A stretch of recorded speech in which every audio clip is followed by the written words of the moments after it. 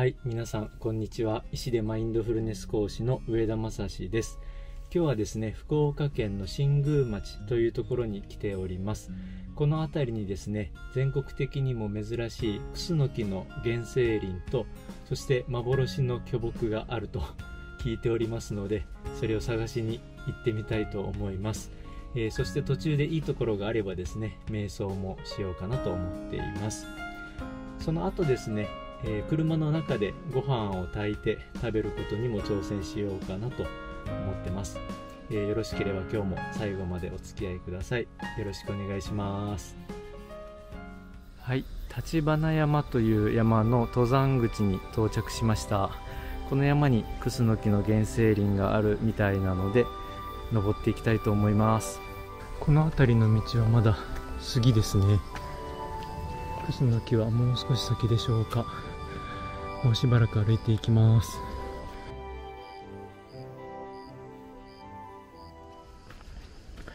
さて登山道らしくなってきました。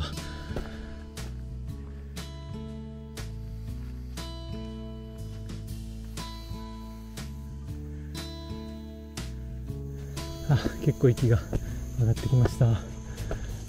もうしばらくかかりそうです。あ休み休み行きたいと思います。目の前に大きなクスノキが現れました。立花山三大巨木と呼ばれている大きなクスのところに来ました。一番大きなものではないと思うんですけどそれでもめちゃくちゃでかいです。幹回りが7メートル以上あるそうです。すごい。ずっしりしてます。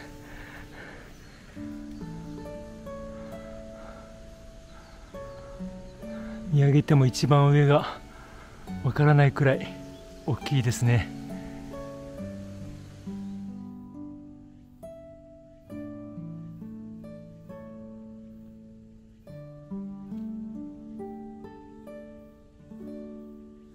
じゃあこのクスノキの横を通ってさらに先へ進みたいと思います。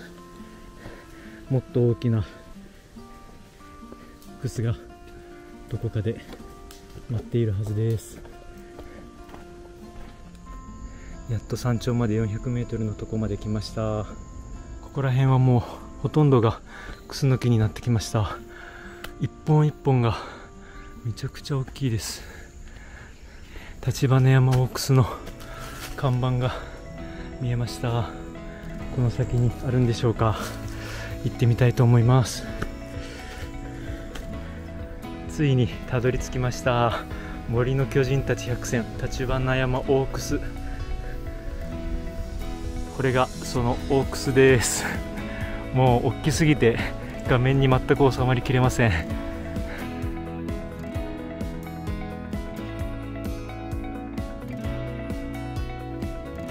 それではですねせっかくなのでこのオークスの前で瞑想をしてみたいと思います。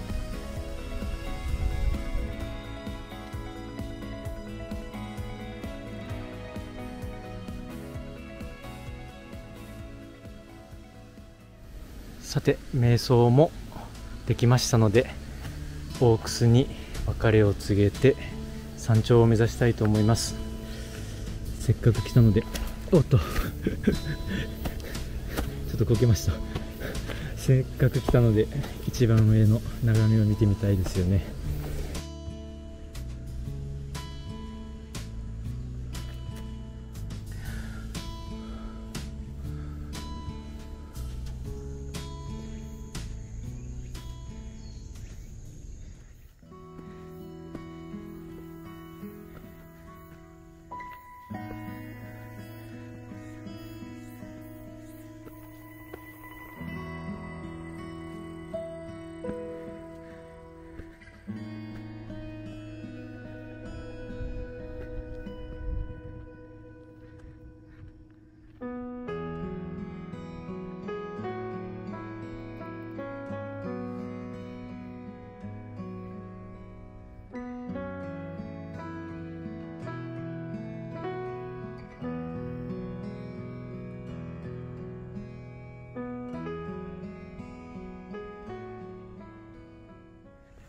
はいそれでは山頂も楽しんだので気をつけて下山していきます。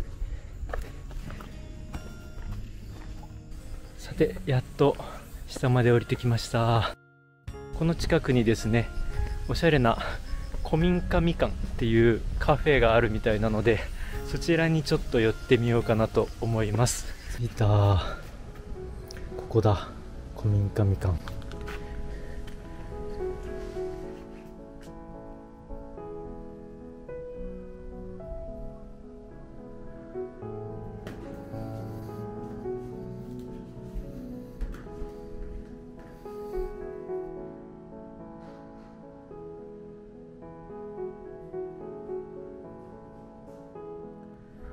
新宮町の特産のみかんのスムージーと新宮町の愛の島のアコヤ貝のクラムチャウダーです。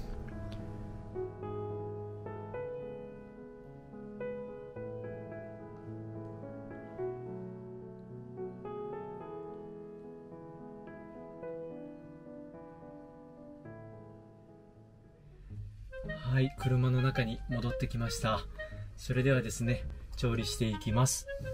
はいではお米半合ぐらい、えー、目分量ですけど入れます。はいあとですね水ですね、まあ、水も同じくらい入れるところですけど今日はちょっとこのサバのね缶詰も一緒に炊きたいと思っているのでまあそれも考えて少し少なめに水入れときます。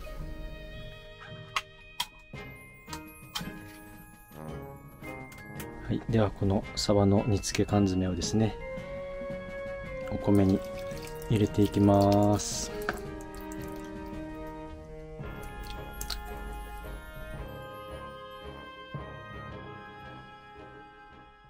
では蓋をしてまず強火で加熱をしていきます。さてだいぶ沸騰して湯気がもくもくしてきたので弱火にしたいと思います。これでもう少し待ちます。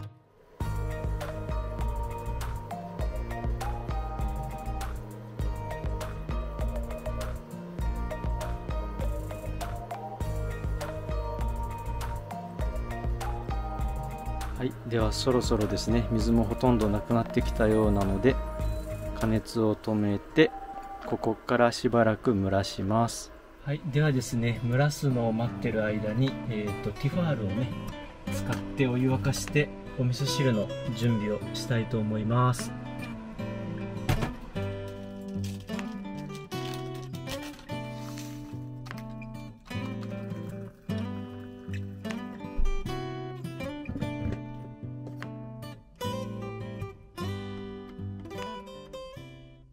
はい。ではそろそろ蒸らしはこれぐらいでいいと思いますのでいよいよ開けてみます。炊けてますでしょうか？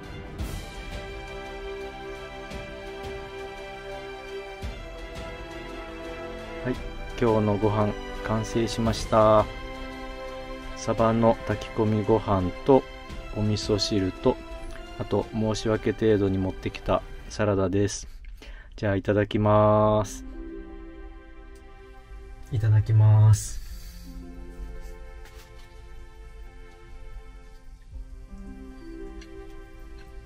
うん。炊けてます。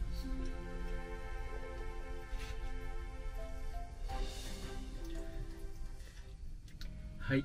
それでは食べ終わりましたので今回の瞑想の旅動画はこれくらいにしたいと思います。最後までご覧いただいてありがとうございました。今回のクスノキの前の瞑想の動画は概要欄からご覧いただけますのでもしよろしければ皆さんも一緒に瞑想していただけたら嬉しいです。このチャンネルでは瞑想のガイド音源やマインドフルネスに関する情報の動画そしてこういった感じの瞑想の旅動画もたくさんアップロードしておりますのでよろしければチャンネル登録をしていただいて次の動画を見逃さないようにしていただけたら嬉しいです。